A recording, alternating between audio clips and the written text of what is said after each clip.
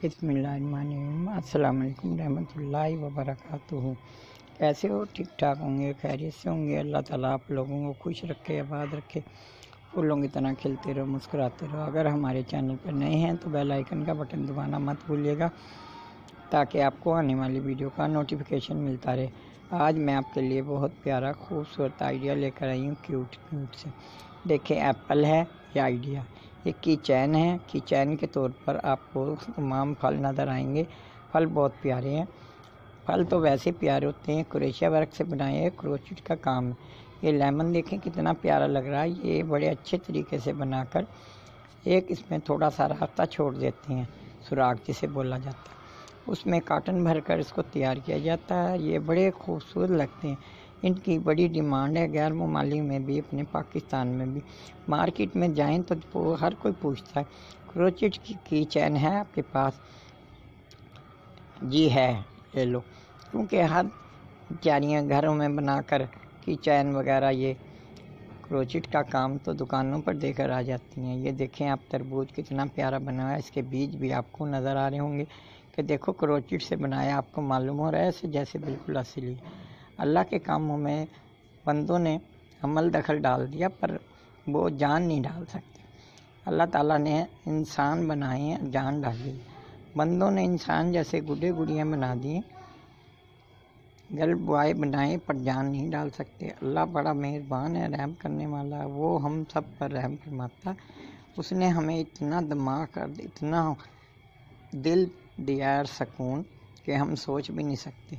उन्होंने हमारे दिमाग में ऐसी ऐसी चीज़ें डाली हैं जो हम सोच नहीं सकते। देखें, चाँद पर इंसान चले गए। गाड़ियाँ बनाई, जहाज़ बनाए आसमान पे बगैर प्लेन के जहाज़ कैसे उड़ जाता? है ये सब साइंसदानों का कमाल है। तो ये क्रोचिट का काम तो उसके आगे कुछ भी नहीं, क्रोशिया वर्क तो इतना आसान काम है।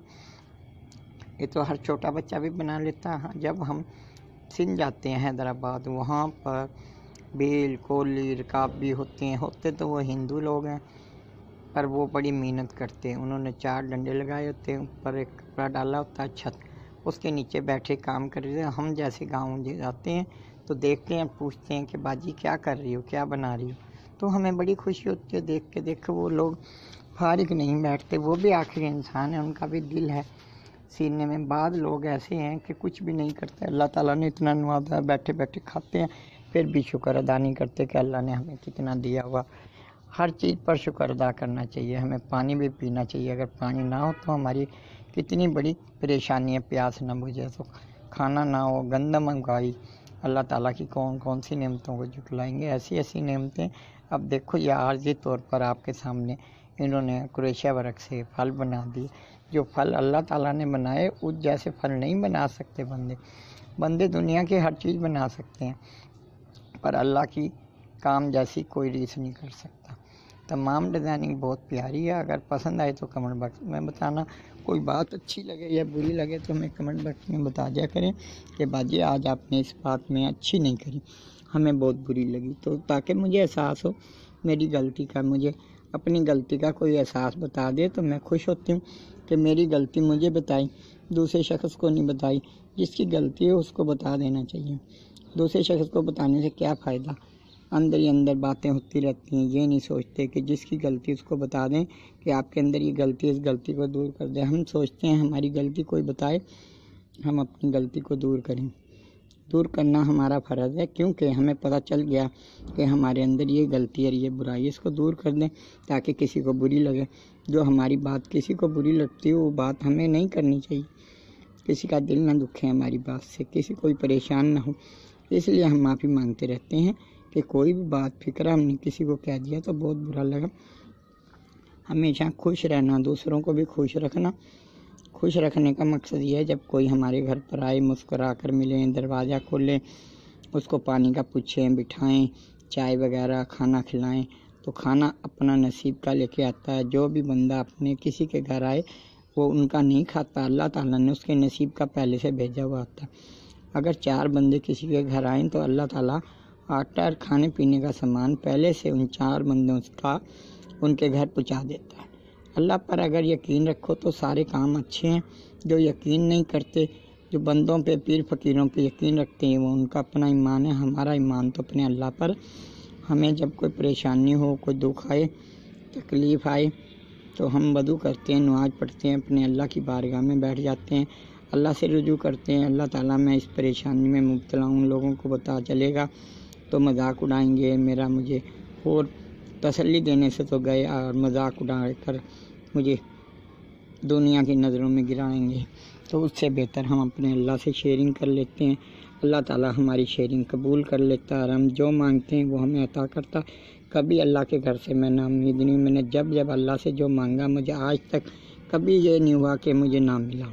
जब हम दिल से पुकारते हैं अल्लाह अल्लाह देखता है मेरे बंदे ने पुकारा, अभी हमें एक हाथ नहीं बढ़ाते, मेरा अल्लाह ताला दो हाथ बढ़ाता है एक कदम बढ़ाएँगे तो अल्लाह दो कदम बढ़ाएगा। हमारी हर वो ख्वाहिश पूरी करता जो हम चाहते हैं। जिस चीज़ की ख्वाहिश रख लें तो अल्लाह ज़रूर पूरी करता है। अल्लाह कहता है, मेरे बंदे ने ख्वाहिश रखी तो मैं पूरी करूँ। अल्लाह ताला अपने बंदे की हर वो ख्वाहिश पूरी करता है, जो उसके दिल में होती है, वो अल्लाह से रुजू करता है। अगर वो बंदों से रुजू करे, पीर फकीरों से, फिर अल्लाह नहीं सुन। अल्लाह कहता है, जब मेरा शरीक बना लिया तुमने तो तुम मेरे पास क्या लेने आए अल्लाह का किसी को शरीक नहीं बनाना चाहिए, हमेशा अल्लाह ताला की रज़ा पर राज़ी रहना चाहिए। जितना रिजक दिया उसने हमारी नसीब में लिखा, उस पर सबर, शुक्र अलहमदिल्ला अगर कोई बीमारी आए तो सबर, शुक्र अलहमदिल्ला पढ़ें। दुख आए तो सबर, शुक्र, अल्हम्दुलिल्लाह, इन्ना इन्ना राजिऊन। शिकवा न करें, कोई नुकसान हो जाए तो उस पर भी शिकवा न करें, नुकसान पर भी सबर करें, खुशी गमी पर सबर करें।